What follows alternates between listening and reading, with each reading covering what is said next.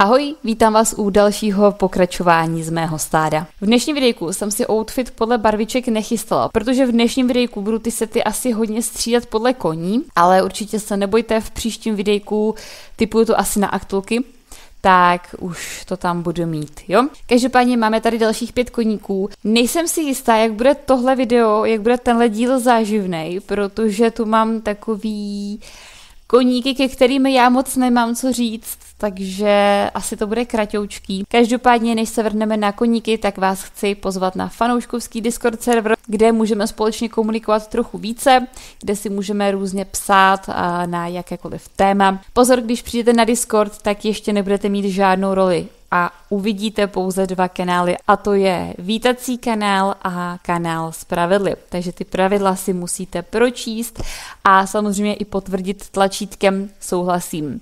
Potom, co vlastně podkliknete ty pravidla, tak dostanete roli a zpřístupní se vám další kanály, kde jsou různé informace. Přidávám, když vyjde videjko jako upozornění. Eh, jsou tam různé informace ohledně updateu hry, jsou tam různý, máme tam bota, který zveřejňuje kódy.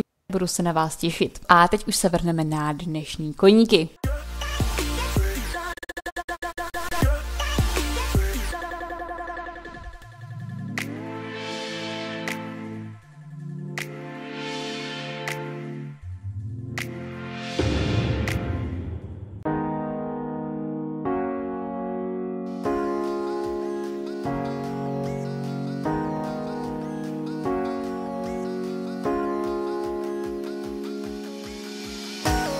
Dnešním prvním koníkem a mým jedenáctým je Spring Ice. Spring je magický Barkheart, je to model Lusitána, kterého jsem si spolu s Věnečkem koupila 26.6.2019. Upřímně si nepamatuju, na co jsem přesně myslela, když jsem koníka pojmenovávala, ale typuju, že výběr koně vypadal nějak takto. Jelikož je to koník, který už se do hry nikdy nemá vrátit, stejně jako věneček z minulého videjka, musela jsem si zakoupit i tuhle břízu, protože bych to asi nepřežila, kdyby mi ten koník chyběl.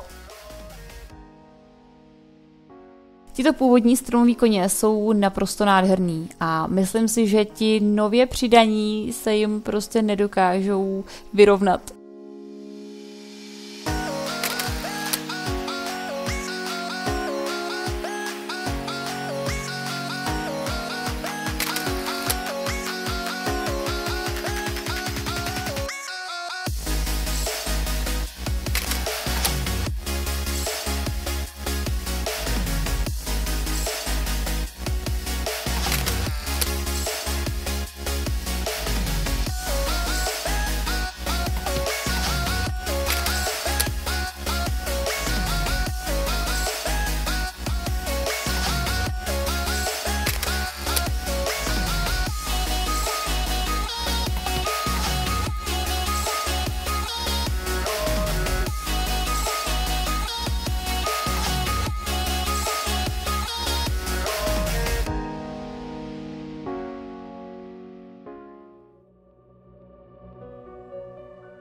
Dalším dnešním koníkem je můj 12.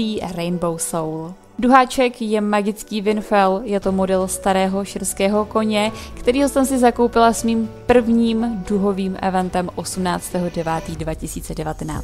Protože to byl můj první duhový event, byla jsem naprosto nadšená z toho, že je ve hře i duhový kůň a rozhodně jsem ho ve svý stáji musela mít. I když máme v dnešní době nádherný remakenutý model širečků, stále s těmito starými ráda trávím čas, protože mi pohled na tyto starý magický koníky připomene moje začátky, kdy nebyl takový široký výběr nejenom magických, ale i klasických koní, kdy jsem na každém kroku všechno obdivovala a jásala jak malá holka té době, kdy já jsem začínala, pro mě bylo všechno hrozně nový a každý přidaný magický koník, které už starší hráči znali, bylo pro mě něco naprosto novýho a já to vždy strašně chtěla. S tímto duhovým eventem nepřišel ale jenom tento duhový kůň, ale přišly ještě další magické barvičky s tímto plamenem a já se strašně rozhodovala, který ho chci. Já jsem to nikdy nechtěla s koněma přehánět, a chtěla jsem si vždycky tak jakože od každého plamene jedno.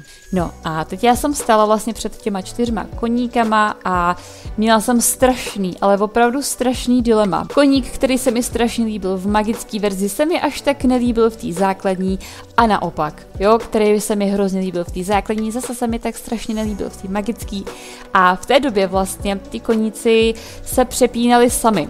Jo, když jste byli nějak blízko k té civilizace, blízko těm městům, tak byl ten koník v reálné formě. A když jste byli tak jako dál od té civilizace, tak se měnil sám na tu magickou formu, nemohli jsme si to ještě přepínat.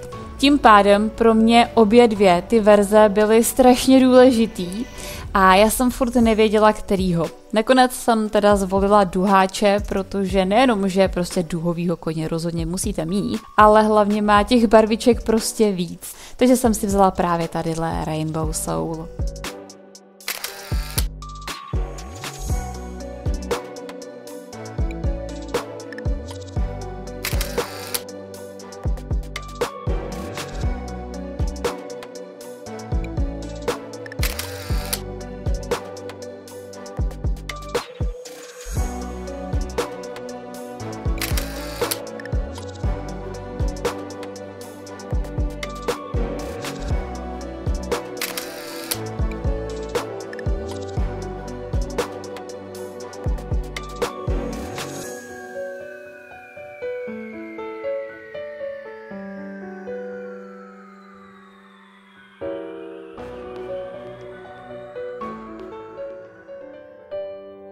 Dalším dnešním koníkem je Pink Spirit.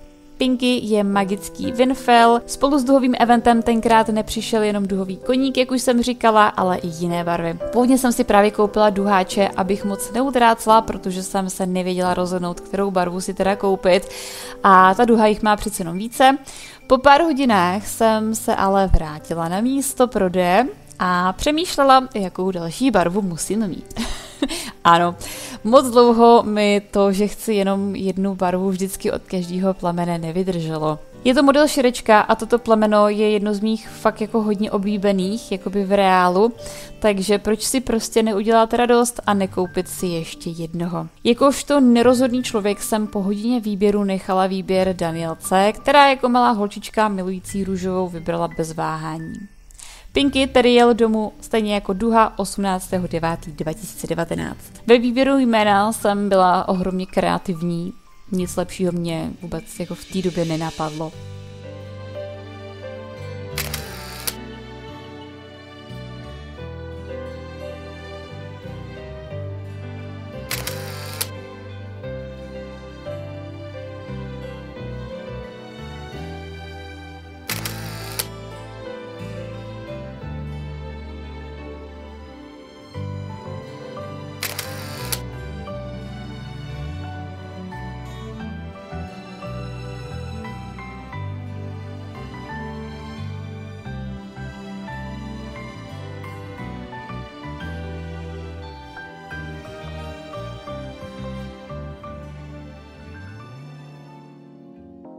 Předposledním dnešním koníkem je Green Clover. Čtyřlístek je stejně jako předchozí dva koníci magický Winfell. Pokud jste si mysleli, že moje nakupovací šílenství ukončila Pinky, byli jste na omilu. Růžový koník, který ho vybírala Danielka, byla barva, která se mi líbila ze všech těch barviček nejmíň a já se po jeho koupi rozhodla, že čertem Starcoiny já chci všechny.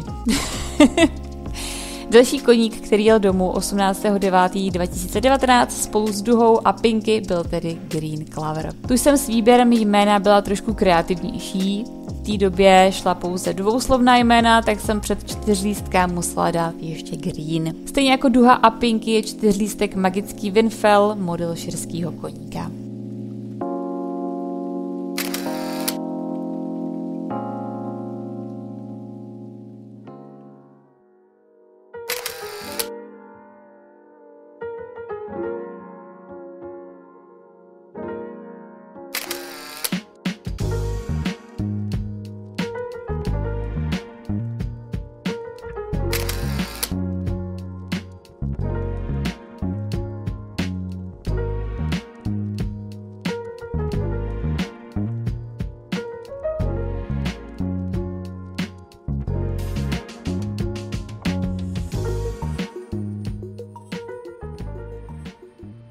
Na posledního dnešního koníka mi v mé nákupní horečce z 18.9. nevyšly Starcoiny, proto je tento koník zakoupený trošku později.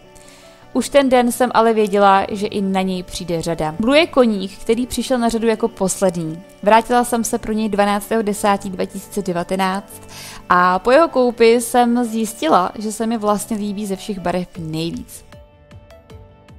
Ke koníkovi se mi líbilo jméno Shadow, ale jak už jsem zmiňovala před chvilkou, jednoslovná jména v té době nešla, proto má každý koník ve jméně svoji barvu. Je to strašně kreativní, ale nic lepšího mě nenapadlo v té době.